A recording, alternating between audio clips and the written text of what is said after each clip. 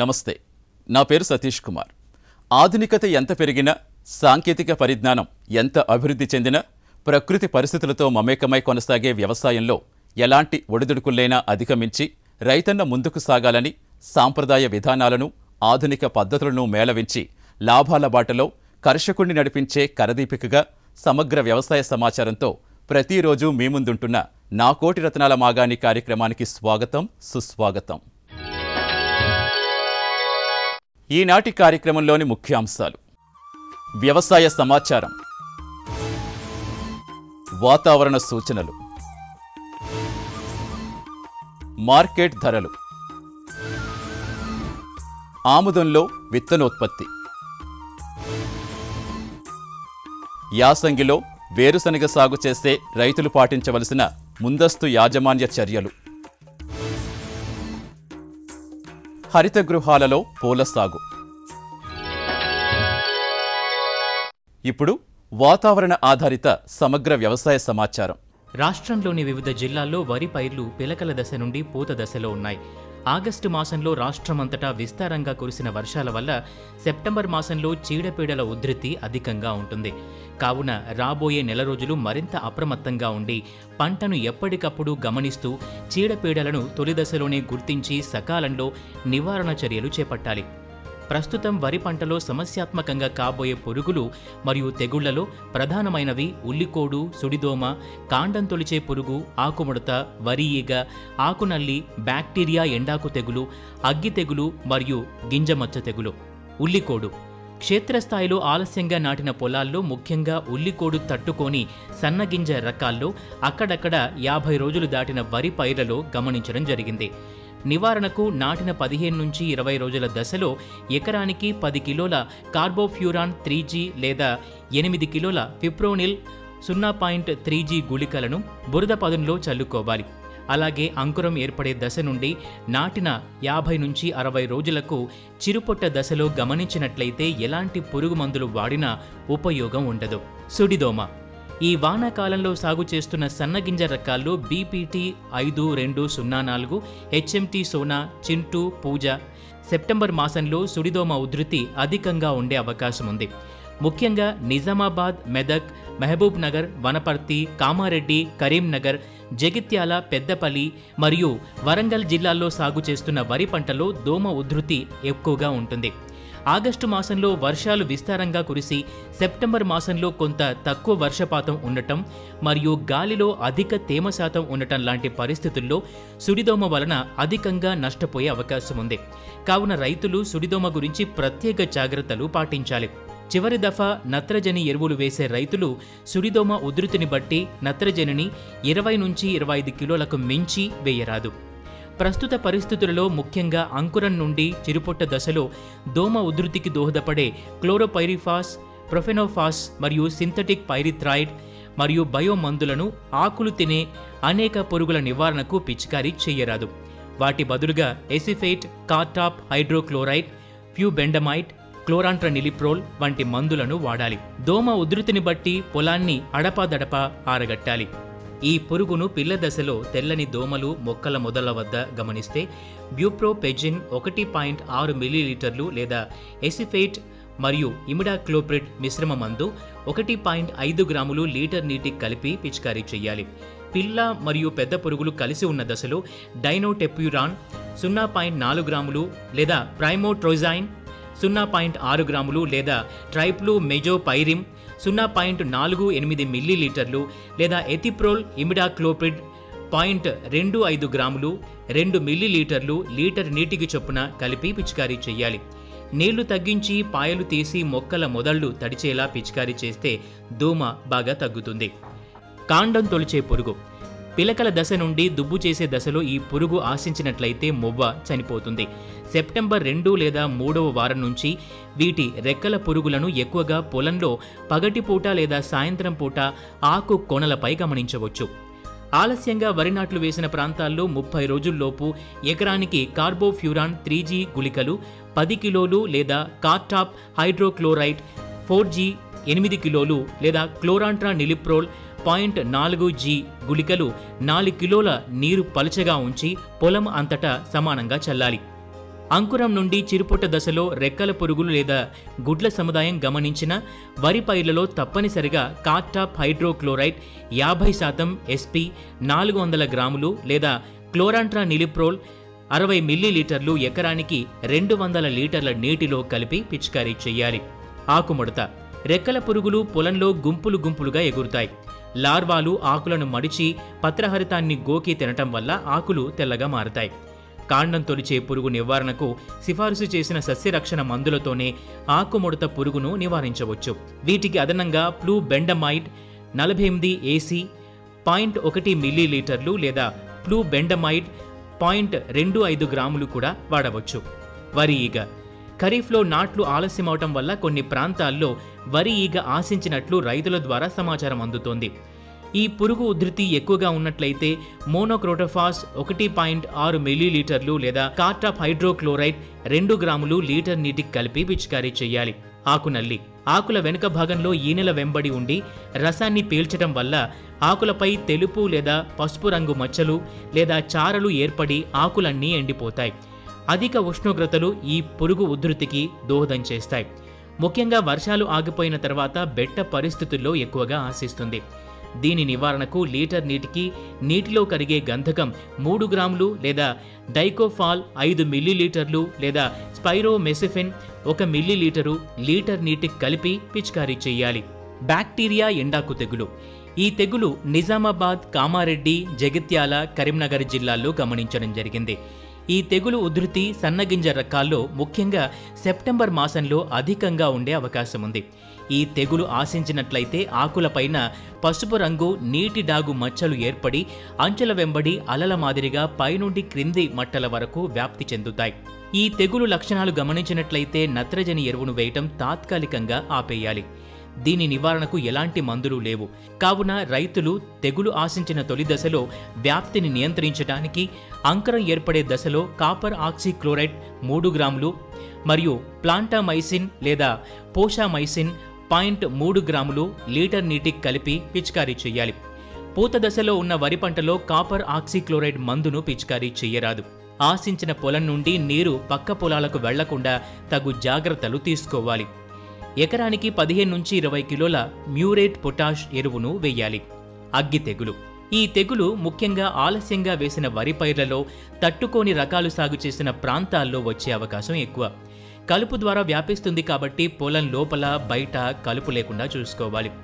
నూలు కండే ఆకారంలో మచ్చలు ఆకులపైన గమనించిన వెంటనే ఐసోప్రో థయోలిన్ ఒకటి పాయింట్ ఐదు మిల్లీలీటర్లు లేదా కాసుగా మైసిన్ రెండు పాయింట్ ఐదు మిల్లీలీటర్లు లేదా ట్రైసైక్లజోల్ సున్నా పాయింట్ ఆరు గ్రాములు లీటర్ నీటికి కలిపి పిచికారీ చేయాలి. గింజ మచ్చ తెగులు. ఈనిక దశలో లేదా ఇప్పటికే ఈనిక పూర్తయిన పొలాల్లో ప్రొపికొనజోల్ ఒక మిల్లీలీటరు లీటర్ నీటికి కలిపి పిచికారీ చేయాలి. చీడపీడలే కాక కొన్ని ప్రాంతాల్లో నీరు నిలవడం వల్ల నాచు కట్టడం వల్ల సల్ఫైడ్ దుష్ప్రభావం వల్ల ఆక్సిజన్ అందక వేర్లు నల్లబడి ఆకుల కొనలు ఎండిపోవడం లేదా ఆకులు మాడిపోవడం జరుగుతోంది. అలాంటి ప్రాంతాల్లో పొలాన్ని రెండు నుంచి మూడు రోజులు లేదా సన్నని నెర్రలు ఏర్పడే వరకు ఆరబెట్టి తదుపరి నీరు పల్చగా ఉంచి యూరియా ఒక కిలోకు రెండు పాయింట్ ఐదు గ్రాముల కార్బండిజం మరియు మ్యాంకోజెబ్ కలిపి పొలంలో చల్లి పొలంలో కలుపు తీసినట్టుగా చెయ్యి తిప్పినట్లయితే మొక్కలు త్వరగా కోలుకుంటాయి. ప్రస్తుత వాతావరణ సూచనలు మీకోసం. గడిచిన మూడు రోజులలో రాష్ట్రంలో అక్కడక్కడ తేలికపాటి వర్షాలు కురిశాయి.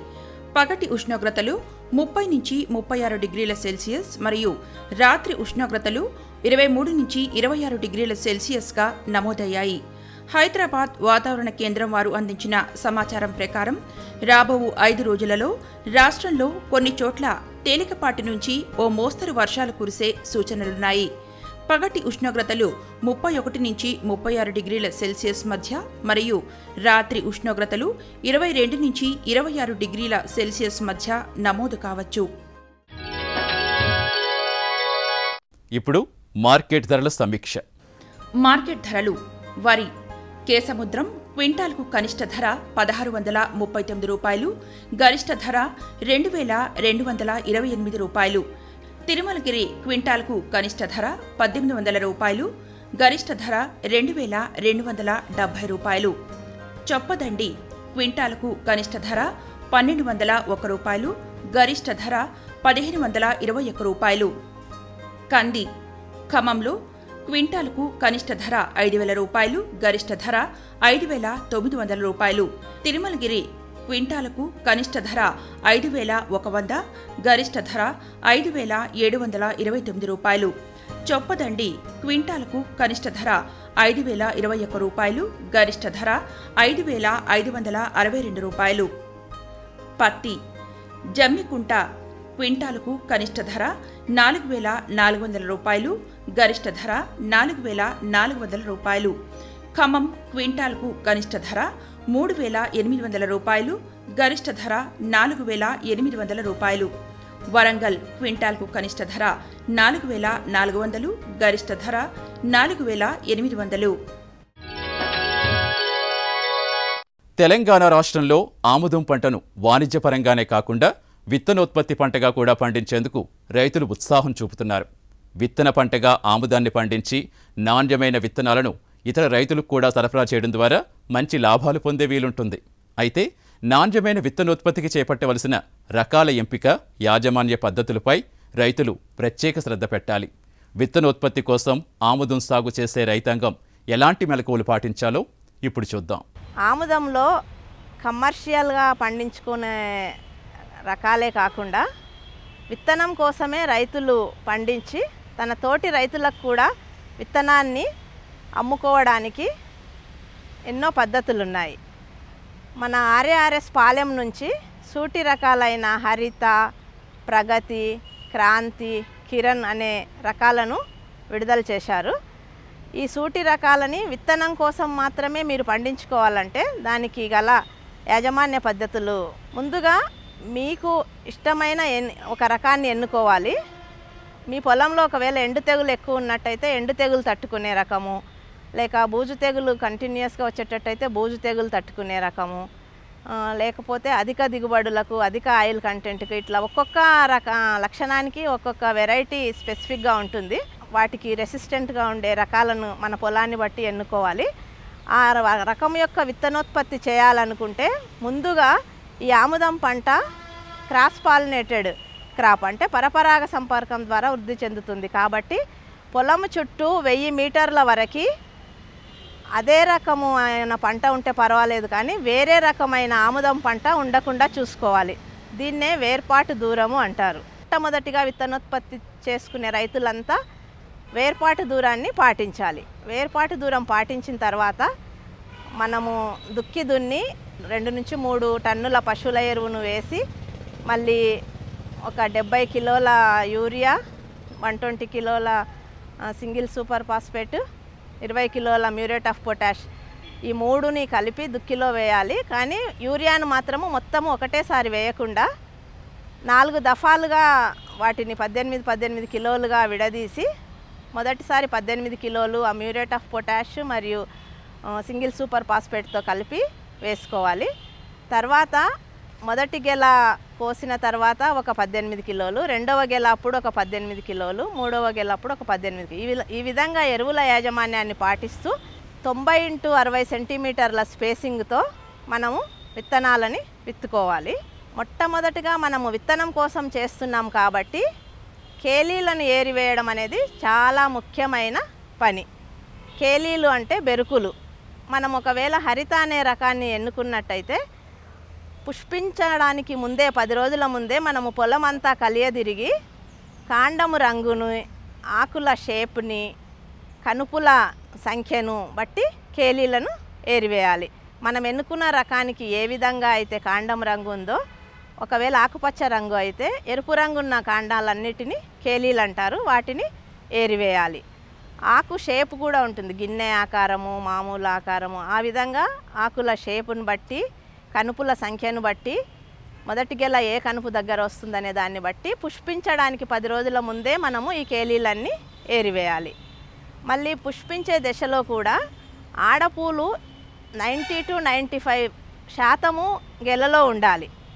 ఈ ఆముదం పంటలో పై భాగాన ఆడపూలు ఉంటాయి గెల చివరి భాగాన బొంగరం ఆకారంలో మగపూలు ఉంటాయి ఈ మగ పుష్పాలు అనేవి ఒకటి నుంచి రెండు వరుసల కంటే ఎక్కువ ఉండకుండా చూసుకోవాలి. ఒక్కొక్కసారి ఇవి చాలా ఎక్కువ ఉన్నట్టయితే పుష్పించక ముందే ఆ గెలని ఆ మొక్కని కూడా పెరికివేయాలి ఈ విధంగా పుష్పించక ముందు ఒకసారి పుష్పించే దశలో కూడా ఒకసారి మళ్ళీ కాయ దశలో కూడా కాయ పరిణామాన్ని కాయ పైన ఉండే ముళ్ళను బట్టి ఈ విధంగా బెరుకులను ఏరివేసేస్తే మనకి మనము ఎన్నుకున్న రకము పంట విత్తనము ఉత్పత్తి చేయగలుగుతాము.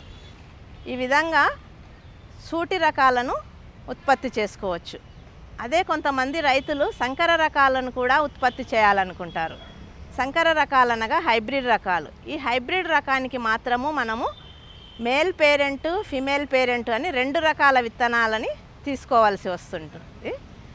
ఫిమేల్ పేరెంట్ అంటే అది మొత్తము ఆడపుష్పాలనే ఇస్తుంది. మేల్ పేరెంట్ అంటే గెలలో చివరలో ఒకటి రెండు వరుసలు మాత్రమే మగ పుష్పాలు ఉంటాయి ఈ విధంగా మనం హైబ్రిడ్ విత్తనోత్పత్తి చేయదలుచుకున్నప్పుడు ముందుగా పొలము చుట్టూ రెండు వరుసల మగ విత్తనాలని విత్తుకోవాలి. తర్వాత పొలంలో నాలుగు ఇష్టు ఒకటి నిష్పత్తిలో అంటే నాలుగు ఆడ మొక్కలను విత్తుకున్నట్టయితే అయితే ఒక వరుస మగ మగ మొక్క విత్తనము విత్తి వదిలేయాలి. నెమ్మదిగా ఆడ మొక్కల్లో మనం గమనించినట్టయితే ఆడ మొక్కల గెలలో మొత్తం హండ్రెడ్ పర్సెంట్ ఆడ పుష్పాలే ఉంటాయి. అదే మగ మొక్కల్లో చివరి రెండు వరుసలు మాత్రము మగ పుష్పాలు ఉంటాయి వీటిలో కూడా మనం కేలీలను ఏరివేసే పని కూడా చేయాలి. ఆడ మొక్కల్లో ఒకవేళ గెలలో మధ్య మధ్యలో మగ పుష్పాలు ఉన్నా కూడా దాన్ని కేలీ కిందనే ఆ బెరుకు కిందనే మనము పరిగణించాలి. ఆ మొక్కలని మనము ఏరివేసేయాలి ఒకవేళ ఆ మొక్కలని మగ పుష్పాలున్న ఆడ మొక్కలను ఉంచినట్టయితే ఆ పుప్పొడి ఆ ఆడపుష్పం మీద పడి సెల్ఫుడ్ సీడ్ అనేది డెవలప్ అవుతుంది. కాబట్టి ఈ విధంగా సెల్ఫుడ్ సీడ్ అనేది హైబ్రిడ్ విత్తనంలో ఉండకూడదు. కాబట్టి మనము హైబ్రిడ్ విత్తనోత్పత్తిలో కూడా కేలీలను ఏరివేసే పద్ధతి మొత్తం నాలుగు సార్లు చేయాలి. అంటే పుష్పించే కంటే ముందు పుష్పించిన తర్వాత కాయలు పట్టినప్పుడు హార్వెస్టింగ్ కంటే ముందు. ఈ విధంగా చేసి హార్వెస్టింగ్ అప్పుడు ఆడమొక్క మీద వచ్చే విత్తనమే హైబ్రిడ్ విత్తనం. ఏంటంటే ఆడమొక్క మీద ఉండే ఆడపుష్పాల మీద ఈ మగ వరుసలో నుండి వచ్చే పుప్పడి పడి మనకు సంకర విత్తనము డెవలప్ అవుతుంది కాబట్టి ముందుగా ఆడమొక్కల మీద ఉండే విత్తనాన్ని మనం కోసుకున్నట్టయితే దాన్ని హైబ్రిడ్ విత్తనం అంటారు. మగ మొక్క మీద నుంచి మామూలుగా కోసుకున్నట్టయితే అది మగ మొక్క యొక్క రకమైన రకము విత్తనం అన్నట్టు. అది సూటి రకంకి విత్తనం. కాబట్టి మనకు మొత్తము పంట దిగుబడిలో హైబ్రిడ్ విత్తనము మగ మగ మొక్క విత్తనము సెపరేట్గా కోసుకొని సెపరేట్గా అమ్మాలి. ఈ విధంగా మనం సంకర రకాలను కూడా రైతులు స్వయంగా వారే తయారు చేసుకోవచ్చు. యాసంగి పంటల సాగు కోసం రైతాంగం ప్రణాళిక సిద్ధం చేసుకోవాల్సిన సమయం ఆసన్నమైంది. తెలంగాణ రాష్ట్రంలో ముఖ్యంగా సెప్టెంబర్ మాసం చివరి నుంచి నవంబర్ వరకు యాసంగి పంటగా వేరుశనగను ప్రధానంగా సాగు చేస్తూ ఉంటారు. అయితే వేరుశనగ సాగుకు సిద్ధమవుతున్న రైతాంగం వేరుశనగ పంట సస్యరక్షణ దృష్టిలో పెట్టుకుని ముందు నుంచే సరైన యాజమాన్య చర్యలు చేపట్టాలి. దీనివల్ల పంట ఎదిగే దశలో చీడపీడల సమస్య తక్కువగా ఉండి మంచి దిగుబడులు పొందే అవకాశం ఉంటుంది. ఆ వివరాలు ఇప్పుడు మీకోసం. వేరుశనగ మన దక్షిణ తెలంగాణ మండలము లేకపోతే మన తెలంగాణలో ఈ సెప్టెంబర్ మాసం నుండి దాదాపు నవంబర్ మాసం వరకు కూడా వేరుశనగ సాగు చేసుకుంటారు ఈ యాసంగిలో.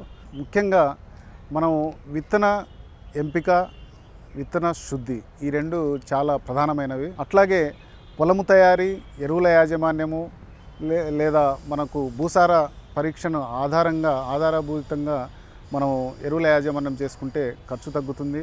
అలాగే దిగుబడి కూడా ఎక్కువ అవకాశం ఉంది. ముఖ్యంగా రైతులు విత్తన ఎంపికలో క్వాలిటీ అంటే మంచి విత్తనాన్ని తీసుకోవడం మన ప్రస్తుతానికి మనకు అందుబాటులో ఉన్న విత్తనాలు కదిరి సిక్స్ కదిరి నైన్ అలాగే ముఖ్యంగా ఈ రెండే ప్రధానమైనటువంటి విత్తనాలు అలాగే ట్యాగ్ ట్వంటీ ఫోర్ అనే రకం కూడా ఈ తెలంగాణలో ఎక్కువగా సాగు చేయడం జరుగుతుంది. ఈ మూడు రకాలు కూడా చాలా మంచి రకాలే. సో ఇందులో భాగంగా ముఖ్యంగా ఏంటంటే విత్తన శుద్ధి అనేది ఖచ్చితంగా రైతులు చేసుకోవాల్సిన అవసరం ఉంది. ఒక కేజీ విత్తనానికి రెండు ఎంఎల్ ఇమిలాక్రోపిడ్ మనం కలిపి విత్తుకుంటే ఈ రసం పీల్చి పురుగుల బారి నుంచి పంటను ఒక ఇరవై రోజుల వరకు కాపాడుకోవచ్చు. అట్లాగే ఆకుమచ్చ తెగులు కానీ వేరుకుళ్ళు తెగులు కానీ ఇటువంటివి మనం ఉద్దతిని తొలి దశలో అరికట్టాలంటే టెబుకొనజోల్ అనే మందును ఒక గ్రాము ఒక కేజీ విత్తనానికి కలిపి విత్తన శుద్ధి చేసుకుంటే మనకు ఈ తెగుళ్ళ బారి నుంచి మనం బయటపడవచ్చు. అట్లాగే వేరు పురుగు అంటే సి ఆకారంలో తెల్లగా ఉండే ఒక వేరు పురుగు గ్రబ్ అంటాం దీన్ని. ఈ వేరు పురుగు ఉద్ధృతిగా ఉన్న ప్రాంతాల్లో విత్తన శుద్ధి chlorpyrifos two six point five ML per KG విత్తనానికి పట్టించి మనం విత్తన శుద్ధి చేసుకుంటే ఈ వేరు పురుగు బారి నుంచి కూడా మనం కాపాడుకోవచ్చు. ఒకవేళ వేరు పురుగు కనుక ఉద్ధృతి ఎక్కువగా ఉన్నటువంటి పొలాల్లో మనము డైరెక్ట్గా త్రీ జీ గ్రాన్యూల్స్ ఎకరాకు పది చొప్పున చల్లుకొని ఉద్ధృతిని కూడా ఆ రకంగా కూడా మనం కంట్రోల్ చేసుకోవచ్చు. ఇక విత్తన శుద్ధిలో ముఖ్యంగా మనం చేయాల్సింది అంటే ఎండు తెగులు కానీ ఇటువంటి ప్రాంతాలు ఉన్నప్పుడు మనం ట్రైకోడర్మా వీడే పది గ్రాములు కేజీ విత్తనానికి పట్టించి కూడా మనం విత్తుకోవచ్చు. అయితే మనకి ఈ మూడు ఉధృతిగా ఉన్న ప్రాంతాల్లో ఈ మూడు మందులను కూడా ఒకేసారి మనం విత్తన శుద్ధితో విత్తన శుద్ధి ద్వారా పాటించవచ్చు. తొలుత మనం కీటకనాశక మందులు తర్వాత శిలీంద్రనాశక మందులు ఆ తర్వాత మనకు జీవ నియంత్రణ మందులతో కలుపుకొని మనము విత్తన శుద్ధి చేసి విత్తుకుంటే మనకు ఈ పురుగు తొలి దశలోని పురుగులను తెగుళ్ళను మనం అరికట్టుకోవచ్చు. ఇంకా ప్రధానంగా ఏంటంటే ఈ కల్చరల్ ప్రాక్టీసెస్ అంటాం. అంటే మనం పొలం తయారు చేసుకునేటప్పుడే లేకపోతే పొలం ఎత్తుకునేటప్పుడే వేరుశనగ చుట్టూ కంచె పంటగా ఈ బాజ్రా అంటే సజ్జలు కానీ జొన్నలు కానీ మొక్కజొన్న కానీ ఒక నాలుగు వరుసలు విత్తుకుంటే మనకు ఈ గాలి ఈ రసం పీల్చు పురుగుల ద్వారా వచ్చేటువంటి అంటే ముఖ్యంగా తామర పురుగుల ద్వారా వచ్చేటువంటి ఈ మువ్వ కుళ్ళు తెగులు అలాగే కాండము కుళ్ళు తెగులు అంటే వైరస్ కాండ కాండము వైరస్ కుళ్ళు తెగులు ఈ రెండింటిని మనం ఉద్ధృతిని తగ్గించవచ్చు. అట్లాగే విత్తుకునేటప్పుడు ట్రాప్ క్రాప్స్ అంటాం అంటే ఎర్ర పంటలు. మనం ఎర్ర పంటగా బంతిపూలు కానీ లేకపోతే సాళ్ళ మధ్యలో ఆమ్దం కానీ విత్తుకుంటే మనకు ఈ లద్దె పురుగు అలాగే శనగపచ్చ పురుగు లాంటివి మొట్టమొదటిగా వాటిని ఆశించి వాటి ఉనికిని పసిగట్టడానికి మనకు ఉపయోగపడతాయి కాబట్టి రైతు సోదరులు మనం విత్తుకునే సమయంలో ఇవన్నీ పాటించాల్సిన అవసరం ఉంది. అలాగే విత్తుకున్న తర్వాత ఒక పది ఇరవై రోజుల తర్వాత లింగాకర్షక బుట్టలు ముఖ్యంగా లద్దె పురుగు గురించి అలాగే ఈ ఆకుముడతకు సంబంధించినటువంటి లింగాకర్షక బుట్టలను ఎకరాకు ఎనిమిది నుంచి పది చొప్పున పెట్టుకొని ఎప్పటికప్పుడు మానిటర్ చేసి మనం ఎప్పటికప్పుడు పురుగు ఉద్ధృతిని గమనిస్తూ తగు చర్యలు తీసుకుంటే మనం రాబోయే ఏసంగిలో అధిక దిగుబడులు సాధించడానికి అవకాశం ఉంది. నేటి జీవన శైలిలో వేడుకలు పూజలు పండుగలు వంటి అనేక ప్రత్యేక సందర్భాలలో పూల అలంకరణ విపరీతమైన ప్రాధాన్యత సంతరించుకుంటుంది. ఈ నేపథ్యంలో కట్ ఫ్లవర్స్గా పిలువబడే వివిధ రకాల అలంకరణ పూలకు మార్కెట్లో ఉన్న డిమాండ్ అంతా ఇంతా కాదు. కట్ ఫ్లవర్స్ సాగుకి అత్యంత అనుకూలమైనవి హరిత గృహాలు. ప్రభుత్వ ప్రోత్సాహకాలు కూడా ఆకర్షణీయంగా ఉండటం మంచి లాభాలు పొందే అవకాశం ఉండటంతో హరిత గృహాల్లో పూల సాగుకు రైతులు బాగా మొగ్గు చూపుతున్నారు. అలంకరణ పూలకు అత్యంత అనుకూలంగా ఉంటూ సంవత్సరం పొడవునా పూలను పొందే వీలు కలిగిన హరిత గృహాలలో పూల సాగు గురించిన పూర్తి వివరాలు ఇప్పుడు తెలుసుకుందాం. మనం పూలు అనేది మనం ప్రతినిత్యం వాడే ఒక కమోడిటీ లాగా అయిపోయింది అంటే అంటే మంచి విషయాలకి తర్వాత ఇట్లాంటి వేరే కార్యక్రమాలు కూడా మనం పూలు ప్రతినిత్యం వాడుతూ ఉంటారు.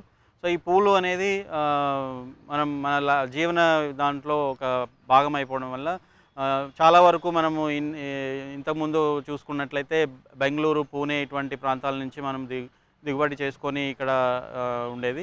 కాకపోతే ఇప్పుడున్న అవకాశం రైతులకి హరిత గృహాల్లో పూల సాగు చాలా లాభదాయకంగా అనిపిస్తుంది. ముఖ్యంగా పూల సాగులో వచ్చేసరికి జర్బరా తర్వాత కార్నేషన్ రోజెస్ తర్వాత స్పెషాలిటీ కట్ ఫ్లవర్స్ అంటారు. అంటే ఆర్కిడ్స్ కూడా పెంచుకునే అవకాశం డెండ్రోబియం ముఖ్యంగా మన తెలంగాణ రాష్ట్రంలోనే చాలా ప్రాంతాల్లో చాలా సక్సెస్ఫుల్గా పండించడం జరిగింది. సో చాలామంది రైతులు ముఖ్యంగా వీళ్ళకి మార్కెటింగ్ అనేది మేజర్ ప్రాబ్లం మార్కెటింగ్ అనేది మనం చూసుకుంటే స్టాగర్డ్ క్రాప్ అనేది అంటే ఒక పంట తీసుకునేటప్పుడు ఒకేసారి హరిత గృహాల్లో అన్నీ ఒకేసారి కోయకుండా ఒక స్టాగర్డ్ అంటే ఒక బ్లాక్ బ్లాక్ వైజ్గా మనము మేనేజ్మెంట్ చేసుకొని ఇప్పుడు జర్బరా ఫర్ ఎగ్జాంపుల్ జర్బరా తీసుకున్నామంటే జర్బరాలో మనము అన్ని లైన్స్ అన్ని రకాలు అన్ని రంగులు ఉండేలాగా మనం రైతులు చూసుకున్నట్లయితే వేరే వేరే కార్యక్రమాలకి కొంతమందికి తెల్ల తెల్ల రకం జర్బరా పూలు అవ- అవసరం ఉంటుంది. వాళ్ళ థీమ్ని బట్టి డెకరేషన్ని బట్టి ఉంటుంది. కొంతమందికి ఎరుపు కొంతమందికి పసుపు వర్ణము మెరూన్ రంగులో ఇట్లాంటివన్నీ డిఫరెంట్. సో మన రిక్వైర్మెంట్ అనేది పబ్లిక్ నీడ్ బట్టి చూసుకున్నట్లయితే మన మార్కెట్ డిమాండ్ని బట్టి చూసుకున్నట్లయితే రైతులకు చాలా అవకాశాలు ఉన్నాయి దీంట్లో పూల సాగులో జర్బరా. ఇదే కాకుండా కార్నేషన్. కార్నేషన్ అనేది కార్నేషన్ కానీ జర్బరా కానీ ఒకసారి మనం పంట నాటుకున్నామంటే అది మూడు నుంచి నాలుగు సంవత్సరాల వరకు పెరినియల్ క్రాప్ అంటే దీర్ఘకాలికంగా ఉండే పంట. ప్రతి సీజన్లో తీసే పంట కా తీసేసి మళ్ళీ నాటుకునే పంట కాదు ఇది. ఒకసారి నాటుకున్నామంటే అది టిష్యూ కల్చర్ మొక్కలు మనకి దొరుకుతుంది అది. టిష్యూ కల్చర్ మొక్కలు నాటుకున్నామంటే దాదాపు మూడు నుంచి నాలుగు సంవత్సరాల వరకు పొడవునా వాటిని మేనేజ్మెంట్ చేసుకుంటూ సీజన్లో ముఖ్యంగా పూలు ఎప్పుడు డిమాండ్ ఉంటుందంటే పెళ్ళిళ్ళు తర్వాత అకేషన్స్ ఉన్నప్పుడు ముహూర్తాలు ఉన్న టైంలో తర్వాత అయ్యప్ప పూజ ఉన్నప్పుడు తర్వాత దసరా దీపావళి ఇట్లాంటి టైంలో పూల ఉత్పత్తి ఎక్కువ మనం చేసుకోగలిగితే అధిక దిగుబడులు వచ్చే రకాలు మనం ఎంచుకొని మార్కెట్ చేసుకోగలిగితే చాలా లాభదాయకంగా ఉంటుంది. ఇవే కాకుండా షార్ట్ డ్యూరేషన్ క్రాప్స్ కూడా ఉన్నాయండి. హరిత గృహాల్లో ఇప్పుడుండే హైబ్రిడ్ రకాల బంతి అనేది కూడా మనం తీసుకునే అవకాశం ఉంటుంది. ఒకే సీజన్లో అంటే ఒకే సీజన్లో క్రాప్ అయిపోతుంది. మూడు నుంచి నాలుగు నెలల్లో క్రాప్ అయిపోతుంది. ఇదే కాకుండా మనం రోజెస్ రోజెస్లో కట్ ఫ్లవర్ రోజెస్ ఉంటాయి తర్వాత లూజ్ ఫ్లవర్స్. అంటే కట్ ఫ్లవర్ అనేసరికి మొగ్గ దశలోనే వాటిని హార్వెస్ట్ చేసి దాన్ని తగు జాగ్రత్త చర్యలు తీసుకొని ప్యాకింగ్ చేసి దాన్ని మనము మార్కెట్ చేసుకుంటే వేజెస్లో బొకేస్లో వాడడానికి ఉపయోగిస్తుంటారు. ఇదే కాకుండా లూజ్ ఫ్లవర్ రోజెస్ అంటే లూజ్ ఫ్లవర్ అంటే మనం హెడ్ ఫుల్గా ఓపెన్ అయిన రోజెస్ పూజలకి దండలకి వీటికి వాడుతుంటారు. ఇవే కాకుండా మనము హరిత గృహాల్లో సక్సెస్ఫుల్గా పండించుకునే పంటల్లో చూసుకుంటే ఇప్పుడు చూసుకుంటే ఆర్కిడ్స్. ఆర్కిడ్స్ అనేది చాలా వరకు అపోహ ఏంటంటే ఇవి చల్లని వాతావరణంలోనే పెంచగలుగుతాము దానికి చాలా ఖర్చు అవుతుంది అనేది. అట్లా కాకుండా ఇది ఇట్లా ఇప్పుడు మనం డెండ్రోబియం అనేది ట్రాపికల్ ఆర్కిడ్స్ అంటారు. అంటే ఉష్ణోగ్రత ఎక్కువన్నా కూడా మనము పెంచుకునే అవకాశం ఉంటుంది కాబట్టి ఆర్కిడ్స్ని కూడా మనం సక్సెస్ఫుల్గా రైతులకి సలహాలు ఇవ్వచ్చు. దాంట్లో పర్టికులర్గా డెండ్రోబియం ఆర్కిడ్స్ అనేది మనకు లభ్యత ఉంది. దాంట్లో రంగులు ఉన్నాయి. పింక్ వైట్ మిక్సింగ్లో ఉన్నాయి. పర్పుల్లో ఉంది. ప్యూర్ వైట్లో కూడా మనకి రకాలు ఉన్నాయన్నమాట. ఇవి కూడా టిష్యూ కల్చర్ మొక్కలు దొరుకుతాయి అవి. అవి మనం పెంచుకోగలిగితే రైతులు మంచి దిగుబడులు పొంది అధిక ఆదాయం. బికాజ్ రై ఆర్కిడ్స్ అనేవి కొంచెం స్పెషాలిటీ కట్ ఫ్లవర్స్ అనమాట ఇవి. కట్ ఫ్లవర్స్ జాతికి చెందినవి. ఇవి రేటు కూడా ఎక్కువ పలుకుతుంది. అదేవిధంగా వీటి నిల్వ కూడా మనము డెకరేషన్లో పెట్టినవి కూడా మామూలు పూల కంటే వీటి నిల్వ అనేది ఎక్కువ రోజులు ఉంటుందన్నమాట. అంటే ఎక్స్టెండ్ అవుతుంది. అట్లా డెకరేషన్లు షాప్లు తర్వాత ఈ ఇనాగరేషన్ టైంలో పెద్ద పెద్ద డయాస్ డెకరేషన్లో వీటిలలో చాలా ముఖ్యంగా వాడే పంట. ఇవి ముఖ్యంగా మనము చూసుకునే హరిత గృహాల్లో అంటే గ్లాడియోల గ్లాడియోలస్ ఓపెన్లో వస్తుంది. రోజెస్ కార్నేషన్ జర్బరాస్ తర్వాత చామంతి ఇంకో ముఖ్యమైన పంట చామంతి. చామంతిలో కూడా మనము కట్ ఫ్లవర్స్గా వాడుకోవచ్చు లూజ్ ఫ్లవర్గా వాడుకోవచ్చు. కట్ ఫ్లవర్గా వాడినప్పుడు వాటిని మొగ దశలో కాడ లెంత్ ఎక్కువ ఉండేటట్టు మనం తీసుకున్నట్లయితే వీటిని ప్యాక్ చేసి మనము స్లీవ్స్ అని తొడిగి వాటిని మనం మార్కెట్ చేసుకోవడానికి అవకాశం ఉంటుంది. అదే లూజ్ ఫ్లవర్స్ మనం రోజులో చూసినట్లే దీంట్లో కూడా లూజ్ ఫ్లవర్స్ హెడ్ ఫుల్గా ఓపెన్ అయినప్పుడు వాటి కాడలు కాకుండా చిన్న చిన్న తొటిమలతో వాటిని కత్తిరించి వాటిని ప్యాకింగ్ చేసి మనము మార్కెటింగ్ చేసుకునే అవకాశం ఉంటుంది.